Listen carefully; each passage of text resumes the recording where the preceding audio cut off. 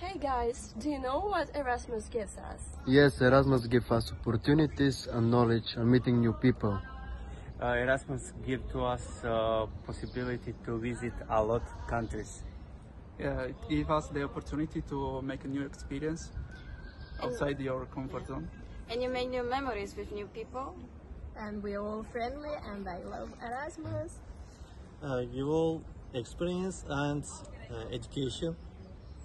And non-formal education. Yeah. Yeah, Erasmus is good for you. Yay, Erasmus! Erasmus!